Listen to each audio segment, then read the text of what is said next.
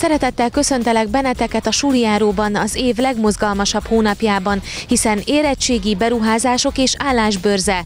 Ezek jellemzik májust, tehát az oktatás minden szereplőjének van elfoglaltsága. Ne is beszéljünk a bizonyítványosztásról, hiszen már csak pár hét a tanév végéig. Lássuk tehát e havi műsorunkban mivel készültünk. Megújult óvoda. Korszerűbb épületben várja a kicsiket az újfehértúi Lengyel Laura óvoda. Érettségi. A korábbi évekhez képest idén sokkal kevesebben tettek emelt szintű vizsgát. Állásbörze. A munkaerőpiaci keresletről tájékozódhattak a Nyíregyházi főiskolára látogatók. Korszerűsítették az újfehértói Lengyel Laura óvodát. Egy pályázatnak köszönhetően végre valóra válhatott az intézményben dolgozók és az önkormányzat nagy álma. Felújított külsővel és belsővel várják mostantól a kicsinyeket. A lengyel Laura óvoda négy tagintézménnyel működik, kisebb-nagyobb felújításokra mindenhol szükség lenne, de megfelelő Európai Uniós vagy állami források nélkül, ahogy megyénk más településein, úgy Újfehértón sincs lehetőség. Az Árvácska úti telephely infrastruktúráját azonban egy sikeres pályázatnak köszönhetően a közelmúltban fejlesztették. Erre már nagyon régóta vártunk. Ez az épület itt az Árvácska út két szám alatt 1980-ban épült meg, akkor került átadásra. Azóta ezen az épületen ilyen körű felújítási munkálatok nem folytak. Természetesen, amikor valami elhasználódott, kisebb-nagyobb javításokat végrehajtott, mindig a fenntartó, ami szükséges volt a működéshez, de hogy ennyi minden megújuljon egyszerre, erre még nem került sor. Most mi történt? Mivel lett szebb, mivel bővült az intézmény? Bővülni nem bővültünk, viszont a külső nyilászárók cseréje megtörtént, nagyon régiek voltak, hát mint mondtam is, már több mint 30 éves nyilászáróink voltak, ezeket nagyon korszerű hőszigetelt ajtókra, ablakokra cserélték, nagyon lelakottak voltak a fürdőszobáink, a vizes blokkok, ezeknek a teljes felújítására került sor, illetve a tetőszigetelésének a teljes cseréjére, mert bizony már sok helyen beázott az épület. És mindezek mellett egy kis külső szépítésben is része lett az épületnek, a homlokzatot is kijavították és újra színezték. Hogyan zajlottak a munkálatok, mikor történtek, és mit vettek ebből észre az óvodások és szüleik? Hát az óvodások annyit vettek belőle észre, hogy volt egy három hetes szünet számukra, illetve akik igényelték az óvodai ellátást, a város többi tagintézményében biztosítottunk számukra ügyeletet, Annyit vettek észre, hogy utolsó napon, amikor itt voltunk még az óvodában a munkálatok előtt, ez márci, ö, március, február 25-e volt, akkor mindent össze kellett ö, pakolnunk, elrakni, hogy a munkálatokat ne zavarják az óvodai berendezések és játékok. És tulajdonképpen február 26-án adtuk át az épületet a kivitelezőnek, és március 16-án kaptuk vissza. És a héten már egy nagyszabású rendezvény sorozattal ünnepelte az új épületet, és a pedagógusok és a gyerekek kitartását az óvoda. Igen, ez így van. Óvodánk névadója Lengyel Laura újfehértói születésű írónő, akinek március 28-án van a születésnapja. Már idén 12. alkalommal rendeztük meg tiszteletére a Lengyel Laura napok rendezvénysorozatot. Ez egy visszatérő esemény az óvodánk életében. Ilyenkor színes programokat szervezünk, vendégeket hívunk, és igazán ünnepélyes keretek között emlékezünk meg az írónőről. Képzés is zajlik folyamatosan, tehát az itteni pedagógusok ügyelnek arra, hogy mindig, eh, hogy úgy mondjam, korszerű és, és modern nevelési technikákkal álljanak a gyerekek és szüleik elé. Hétfőn éppen ezért tanulni jöttek külföldről a pedagógusokhoz. Kik voltak ők, és milyen képzésen, vagy, vagy milyen konferencián vehettek részt? Igen, óvodánk is részese egy Európai Uniós pályázatnak, mint partnerintézmény.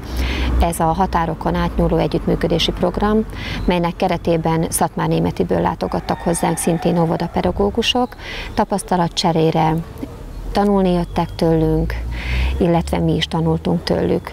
Mi lehet még a következő lépés, mire van szükség az óvodának, bár most már azért korszerű körülmények között várja a gyerekeket, de mi lenne még, ami fontos volna itt bővítés vagy korszerűsítés témában? Ami még nagyon nagy álma az óvoda nevelőtestületének, hogy a megújult épület teljesen megújult legyen, és a folyosók és öltözők is egy új burkolatot kapjanak, illetve régi álmunk már, hogy az óvodában legyen egy tornaszoba. Nagyon bízunk benne, hogy a jövőben lesz arra lehetőség, hogy különböző pályázatok útján az anyagi forrást is meg tudja teremteni ehhez az önkormányzat és régebben is volt már olyan elképzelés, hogy erre az épületre egy emeletet ráépítenek, és akkor ott minden olyan helyiség helyet kap, amely a zavartalan működéshez szükséges. A lengyel Laura óvoda célja, hogy a gyerekek hatékony, nevelő, fejlesztő közegben éljenek, az óvodai dolgozók pedig egymás segítő jó munka kapcsolatban, szervezett feltételek között mindig az eredményes munkára törekedjenek. A magyar nyelv és irodalommal május másodikán hétfőn megkezdődtek az érettségik. Idén országszerte középszinten mintegy 1200 helyszínen több mint 90 ezer diák tesz vizsgát. Az első érettségi napon magyar nyelv és irodalomból vizsgáztak a diákok. Az első feladat megoldásához 60 perc állt a rendelkezésükre. Nemes Nagy Ágnes párbeszéd a mai versről című művével kapcsolatban kellett összesen 11 kérdésre válaszolniuk a maturandusoknak. A második rész a 180 perces szövegalkotás volt, ahol három téma közül választhattak a diákok. A Nyíregyházi Vasvári Pál gimnáziumban 170 végzős vizsgázott magyar nyelv és irodalomból, és közel 100 alsóbb éves tesz az idén idén előrehozott érettségit. Hányan érettségiznek itt most a Vasvár gimnáziumban? 170 végzősünk van, és ehhez jön még közel 100 előrehozott érettségi az alsóbb évesek részéről. Mennyire jellemző, hogy előrehozott érettségit tesznek a diákok? Évről évre növekszik a száma, lévén elő is írják, illetve hát pontot így tudnak szerezni, úgyhogy általában magyarból, történelemből, matematikából, informatikából ezek a legjellemzőbbek, de a többiből is tesznek előrehozott érettségit, biológiából vagy kémiából is. Sokan választják az emelt szintű érettségiket? Arányában az érettségizőkhöz képest ez egy megfelelő arány, olyan túlzottan nem. Mindaddig, amíg kötelezővé nem teszik ezt a dolgot, addig a gyerekek nyilván ki fogják számítani, mi a kedvezőbb számukra. Melyen irányba szeretnek tovább tanulni a Vasvár gimnázium diákjai? Nagyon népszerű volt eddig a jog, a közgazdaságtudomány, de egyre inkább örülünk neki, mert a biológia, fizika, matematika és informatika is eh, egyre inkább az érdeklődés középpontjába került. Ha jól tudom, meg is nézhetik majd a diákok a kijavított érettségi dolgozatokat. Mind a középszintűt, mind az emelt szintűt, emelt szintűt megnézhetik, eh, és nyilván azért ez a szóbelire egyfajta eligazítót jelent számukra, mindenki meg is szokta nézni, hiszen kíváncsiak arra, hogy körülbelül hány pontból indulnak a szóbelihez. Van esetleg arra példa, hogy jogorvoslattal élnek a diákok a javítással kapcsolatban? Itt főleg az emelt szintű érettségikre gondolok. Arra volt tavaly, én csak erről tudok beszélni, elég sok volt, megírták és meg is kapták rá a pluszpontot, ami megillette őket. Mikor kezdődnek a szóbeli érettségi vizsgák? Elvileg június 15-ig tart a tanév, és utána kezdődnek a szóbelik. Ez hány napos munka lesz itt a Vasvári gimnáziumban a tanároknak? Ez és a diákoknak is? Ez két hét. Két hét, mert van olyan osztály, amelyik négy nap érettségizik, hiszen a ö, testnevelés érettségi az maga egy napot elvesz, így aztán marad még három nap a közismereti egyéb tárgyakra. Mennyire jellemző az, hogy korábban érettségizett diákok visszajönnek, és esetleg újból próbálkoznak jobb érettségit írni? Minden évben előfordul, nem tömeges, de előfordul, az idén is vannak. Körülbelül olyan kettő, uszkve, tíz között van mindig ez a szám. Az első vizsganap minden diák számára a legizgalmasabb, még annak is, aki tavaly már előrehozott érettségit tett. A magyar érettségi két részből áll, a szövegértéstől egy kicsit félek, mert kevés idő van, és sok feladatot kell megoldani. A, a második része az érettségnek az íráskészség felmérése, és hát itt, itt egy kis na, nagyobb mozgásterünk van, és így ezáltal így, így a gondolatainkat jobban kifejthetjük. Melyik tantártól izgulsz a legjobban? Én a matek töri, mert nekem az a fontos, azt a két tárgyat viszem tovább tanulásnál. Hova készülsz, melyik egyetemre? Debreceni Egyetemre, gazdálkodás és menedzsment szakra. Emelt szintűt fogsz tenni valamelyik? Nem, nem csinálok semmiből. És miért gondolod úgy, hogy nem lesz fontos esetleg a pontszámoknál? Ö, én nagyon szeretnék minél jobbat írni középszinten, és akkor úgy gondolom, hogy ha jó középszintet írok mind a kettőből, akkor lehet esélyem. Előrehozott érettségid van már valamelyik tantárgyból? Igen, másodikban csináltam németből, harmadikban pedig földrajzból. Az érettségi vizsgák kedden matematikával folytatódtak, ezt követte szerdán a történelem, majd csütörtökön az angol nyelv. Az írásbelik május 23-áig zajlanak, a szóbeli vizsgák időszaka pedig június 14-től június 28-áig tart majd. Régiónk vezető nagyvállalatai mutatkoztak be a Nyíregyházi Főiskola innovációs bőrzéjén, ahol oktatók, hallgatók és cégvezetők találkozhattak és köthettek együttműködést. Az innovációs bőrze célja az volt, hogy erősítsék a piaci szereplők kapcsolatát, amely a szakemberek szerint is a gazdasági felemelkedés a régió fejlődésének záloga. Az innováció kulcsfogalommá vált az utóbbi években akár a vállalkozások, a civil szervezetek vagy az intézmények jövőit tekintjük. A fejlődés, a megújulni vágyás lehet ugyanis a gazdasági fellendülés kulcsa, ehhez pedig az elsődleges feltételeket a Nyíregyházi Főiskola teremtheti meg. A régió felsőoktatási intézménye kutatóközpontot létesített az innovációs munka elmélyítéséért, emellett számos rendezvényt szervez a hallgatók ismereteinek bővítésére. Ilyen volt legutóbb az Országos Tudományos Diákkör Szakköri konferencia. A Nyíregyházi Főiskola vezetése szerint az elsődleges cél, hogy a térség megtartsa erkölcsi és szellemi tőkéjét, amelyhez piacképes képzés és piacképes diploma szükséges. Mindenféle szaktanulmány, amely az egyetemes felsőoktatásra foglalkozik, akár Amerikában, Európában vagy Ázsiában, azt mondja, hogy ott tud kialakulni erős gazdaság, jó ipar és kereskedelem, ahol felsőoktatási intézmény van, vagy ez áll a háttérben. No már most a Nyíregyházi Főiskola az integrációja óta és az előző években is elsősorban oktatási intézmény volt. Most nekünk nagyon nagy lépéseket kell tennünk abban az irányban, hogy az innováció középpontja legyen. Én ezt úgy fogalmaztam meg, hogy a, a megye felemelésének a logisztikáját kell a Nyíregyházi Főiskolán megteremteni, létrehozni azt az oktatói és kutatói közösséget, amely ezen segíteni tud, és intézményt is. Ezt megtettük. Megtettük, mert másfél-két évvel ezelőtt megalakítottuk az Integrált Tudáscentrumot, amelynek az a dolga, hogy folyamatosan keresse a kapcsolatot a kamarákkal, a megyei cégekkel, vállalkozásokkal, és ami itt megszületik a fejben, azt azonnal vigye ki. Nagyon fontos az, hogy segítse a megyét, segítsük a megyét, mert munkahelyeket kell teremteni, hogy álljon meg az elvándorlás, és ha munkahelyek lesznek, reméljük, akkor a gyerekvállalási kedv is nagyobb lesz, vagyis a főiskolának lesznek az elkövetkező évtizedekben hallgatói. Ez a legfontosabb. A régió első innovációs bőrzéjén mintegy 20 kiállító vett részt. A cégek nagy része nem csak bemutatkozási lehetőséget látott a rendezvényben, hanem jó munkaerőtoborzási helyszínt is. Cégünknek nagyon fontos az ilyen bőrzéken való megjelenés, hogy megismertessük nem csak cégünket, hanem tevékenységünket is az emberekkel, nem csak a már felnőtt emberekkel, hanem a fiatalsággal is, és fontos a környezettudatosság, a megújuló energiák hasznosítása.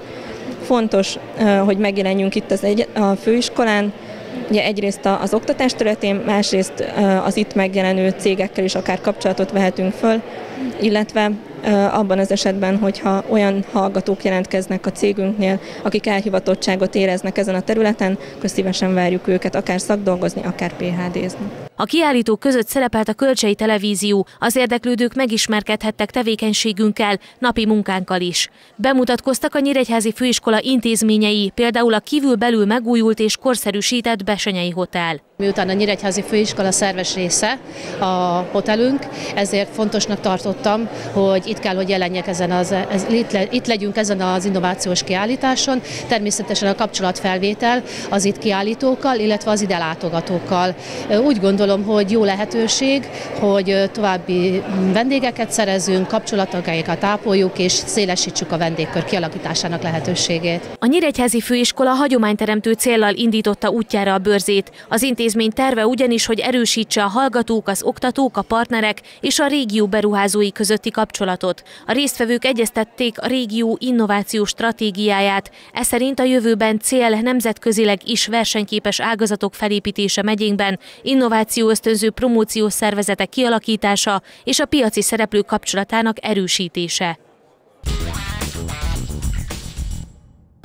Hogyan és hol lehet legegyszerűbben elhelyezkedni ma Magyarországon, milyen lehetőségeket kínál szabolcs már Bereg megye, és milyen képességekkel, képzettséggel, tulajdonságokkal kell rendelkezniük a mai álláskeresőknek. Többek között ezekre a kérdésekre is választ kaphattak azok, akik ellátogattak a Nyíregyházi Főiskola állásbörzéjére. Úgy gondolom, hogy a mai világban nem csak a magyar, de az európai világban is az egy, egyik legnagyobb érték, emberi érték a munka. Sorsokat, embereket láttam tönkre menni, mert elveszítették a munkahelyüket. Azt szeretnénk, hogy a Nyíregyházi főiskolán végzettek olyan mobilitással rendelkezzenek, a személyiségükben, és olyan kapcsolatokkal a munka világa felé, hogy könnyebb legyen az elhelyezkedésük. Mely karok a legnépszerűbbek a munka szempontjából? Biztos van egy visszacsatolás, hiszen a különböző cégeken nem most kezdődött a kapcsolat. Amit Magyarországon leginkább keresnek, az a mérnöki és a műszaki értelmiség, hiszen ebből nagyon kevés is végez. Európa szinten is kevés, de Magyarországon még az európai átlagnak a fele. Tehát a, a mérnöki és a műszaki végzettségűek körében a legnagyobb. Természetesen a természettudomány területén is el lehet helyezkedni. Ott, ahol problémák lehetnek, az a ö, ö, társadalomtudomány és a bölcsészettudomány, hiszen például kommunikáció és média szakembert már nem bír újságírót felszívni egyszerűen a szakma. Nagyon jó az elhelyezkedési lehetőség természetesen a tanárszakokon is. A főiskolának van-e jövő évtől valami olyan új szak, amely pont az állás vagy a különböző munka lehetőségek kapcsán merülhet fel? Most akkreditációra készülünk még ezekből a szakokból, tehát most már most még nem tud megjelenni, Amint az akkreditációs munkálatok befejeződnek, akkor ezeket közé tesszük. Nagyon-nagyon szeretnénk két szakot, az angol nyelv és irodalomtanárit, illetve a testnevelő tanárit akreditáltatni, de például az idegenforgalom és turizmus alapszak az már elkészült, tehát lehetséges, hogy jövőre ez már bekerül a rendszerbe, lehet rá jelentkezni. Több adatot lehet olvasni pályakezdő munkanélküliekről, azt is, hogy csökkent egyes helyeken, máshol egy picit nőtt, és azt is lehet olvasni, hogy a megkérdezett állások mintegy 5%-ával tudnak csak élni a pályakezdő diplomások. Ez szabolcs már Bereng megyére bármelyik aspektusból megközelítve mi igaz, vagy mi lehet igaz? Jelen pillanatban a szabolcs bereg megyében valamivel több mint 68 ezer regisztrált álláskeresőt tartunk nyilván, és körülbelül 3%-uk felsőfokú végzettségű, tehát olyan 2000-2500 fő felsőfokú végzettségű. Ha a pályakezdő álláskeresőkön belül nézzük meg ugyanezt az arányt, hogy hány százalék a felsőfokú végzettségű, akkor látható, hogy a 7000 regisztrált pályakezdőhöz képest 459 fő jelen pillanatban, aki felsőfokú végzettséggel rendelkezik. Tehát elmondható, hogy, hogy végül is ez az arány az összregisztráltakhoz képest a pályakezdő felsőfokú végzettségűek aránya az olyan 0,6 e százalék, tehát minimális. Ez azt mutatja nekünk, hogy a főiskolán, illetve egyetemen felsőfokú végzettséget érdemes szerezni, és a e, munkaerőpiaci adatok azt mutatják, hogy a diplomásoknak könnyebb az elhelyezkedése, mint akár a középfokú szakképzettséggel rendelkezőknek, és hát sokkal könnyebb, mint akinek nincs semmiféle szakmája. Egyébként ezekből az adatokból is látható, hogy, hogy az elhelyezkedés könnyű, és hát a munkaerőpiacról a kiszorító hatás érvényesül, tehát a felsőfokú végzett pályakezdő álláskereső az általában nagyobb esélye talál munkát, ha nem is a saját megfelelő iskolai végzettség megfelelő munkahelyen, hanem egyel lejjebb, akár középfokú végzettségű munkát is elvállal. A szakképzettséggel rendelkezők elvállalják az alapfokú végzettséggel rendelkező munkahelyeket, és hát a leghátrányosabb helyzetben a iskolai végzettség nélküliek, illetve a szakképzettség nélküliek vannak. Ott egyébként a foglalkoztatási arány az olyan 28% körüli, míg nagy átlagban ebben a megyében olyan 45% körül, a diplomások körében ennél jóval magasabb. Mennyiben nőtt vagy nőhetett a munkanélküliség iráta, illetve van-e elmozdulás mondjuk a pályakezdők esetében, pont amit említettem, hogy vannak megyek mondjuk Baranya, ahol nőtt? A regisztrált munkanélküliek száma és aránya minden évben az jellemző, hogy volumenében szeptemberről megindul, szeptemberről október megindul egy beáramlás. Általában itt ez a megyére jellemző az idény jellegű munkák, és az idény jellegű munkák megszűnése miatt évvégén megkezdődik a beáramlás, és ez egészen februárig tart körülbelül. Februárig viszonylag magasak ezek a, a számok, és utána, ha megindul, jön a jó idő, megindulnak mondjuk az építőipari tevékenység, meg az tevékenységek, utána ez a szám csökken. A regisztrált álláskeresőkre is ez vonatkozik, tehát a regisztráltak száma is csökken az elmúlt hónapokban láthatóan és érezhetően csökken, és a pályakezdő álláskeresőké is természetesen.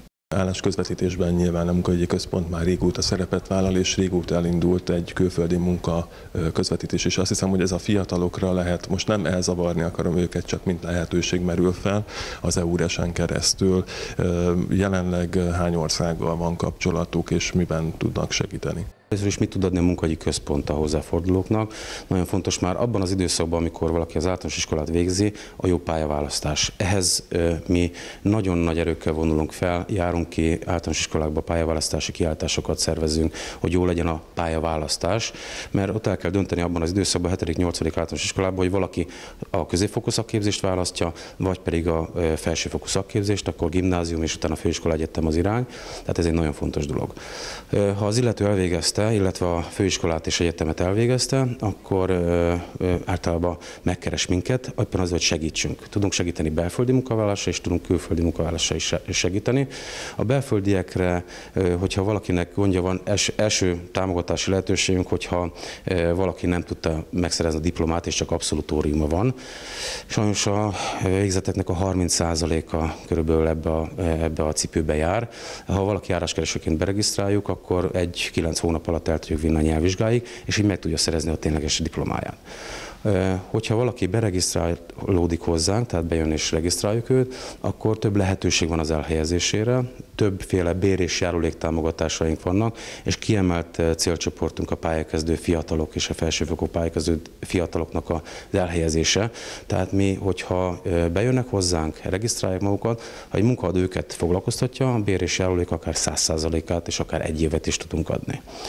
A belföldi munkavállaláshoz ennyi segítségünk van. Természetesen a humán szakszolgálatunk rendelkezéssel, pályázati tanácsadáson, önéletrajzírással, az elhelyezkedés segítő egyéb kompetenciának a megszerzésére, és nagyon fontos, amit kérdezett az EURES-es tevékenységünk, a nemzetközi hálózatunk működik országos szinten is, és a Európa számos országában, és nagyon keresettek a itt diplomát szerzett fiatalok, főleg Anglia, Németország a célországok, és jelentős számba közvetítünk ki oda is embereket. Három évre rövidítenék a szakképzést és erősítenék a cégek, illetve az oktatási intézmények közötti kapcsolatot. Lássuk e havi hírblokkunkat. A jelenlegi négyről egységesen három évre rövidítenék a szakképzést, és a képzésen résztvevők mindhárom évfolyamon tanulnának szakmai tárgyakat a Magyar Nemzet információi szerint. Egy áprilisi tervezet alapján a vállalatok szakképzésbe való bevonása érdekében kiterjesztenék a tanuló szerződéseket az egészségügyre, a szociális területre, tehát azokra az ágazatokra, ahol általában nem a szakképzési hozzájárulást fizető vállalati szektor látja el a feladatokat.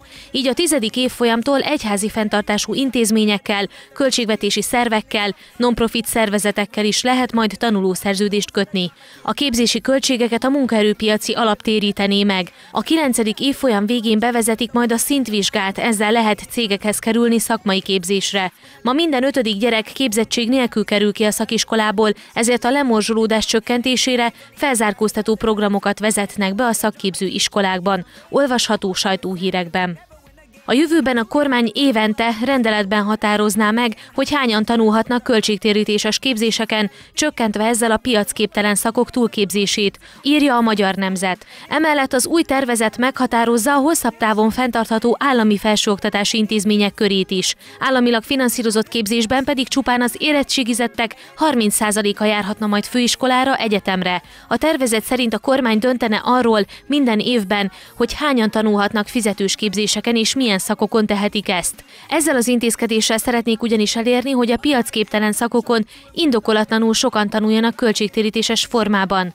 Az új felsőoktatási koncepció meghatározza majd a hosszabb távon fenntartható állami felsőoktatási intézmények körét. Ez azonban nem jelenteni a többi intézmény automatikus megszűnését, mert az integráció lehetősége megmaradna számukra. Kötelező lenne a felsőoktatásban szerzett bizonyítványok megújítása bizonyos időközönként. Erre az intézkedésre a felsőoktatás demográfiai problémáinak megoldása miatt lenne szükség. A felsőoktatás intézmények második integrációs hullámát még az idén elindítanák. Az új stratégia szerint a felsőoktatásban szerzett bizonyítványjal rendelkezőknek kötelező lenne nagyjából fél éves szakmai továbbképzésben részt venniük. A költségeket részben a munkáltató, részben a beiskolázott felnőtt viselni. Ennek a diplomaszerzést követő 10, illetve 15 éven belül kellene megtörténnie, és újabb 10 év után ismét kötelező lenne a részvétel. Emellett úgy látják, hogy folytatni kell a felsőoktatási szféra differenciálását. A kutatóegyetemi minősítés nemzetközi mércéhez kellene kötni, valamint az alapfinanszírozás mellett konkrét kutatástámogatássá kellene alakítani a címhez rendelt forrásokat. Idén már többen jelentkeztek a felsőoktatásba elektronikus úton, mint ahányan a hagyományos formát választották. Csak nem 81 ezeren éltek az elektronikus felvételi lehetőségével, szemben a 60 ezernyi hagyományos módon jelentkezővel. Az edukáció gyors jelentése alapján elmondható, hogy a legnépszerűbb alapszakok körében idén sem történt nagy változás. A lista élén továbbra is a gazdálkodási és menedzsment szak, valamint a turizmus vendéglátás állnak. A tavalyihoz képest annyi különbséggel, hogy a gazdálkodási és menedzsment szak kiszorította a 2010-ben még első helyen lévő turizmus vendéglátást. A mérnök informatikus alapszak idén is őrzi harmadik helyét, melyet a gépészmérnöki, a pénzügyszámvitel és a jogász követ. A mesterképzések közül továbbra is a tanári Győri mesterszakalista vezető, a nemzetközi tanulmányok, valamint a kommunikáció és médiatudomány mesterszak őrzi második és harmadik helyét. Ez volt a Suliáró májusban. Legközelebb már nyárköszöntő műsorunkban üdvözölhetünk benneteket júniusban, akkor ugyanis vége a tanévnek. Addig se felejtjétek azonban, hogy nem szabad hátradőlni, már csak néhány hét van a munkából. Tartsatok ki, tanuljatok, és az érettségizőknek pedig a szóberikhez jó felkészülést kívánunk. Jó munkát tehát, és jó egészséget. Köszönöm megtisztelő figyelmeteket munkatársaim nevében is. Sziasztok!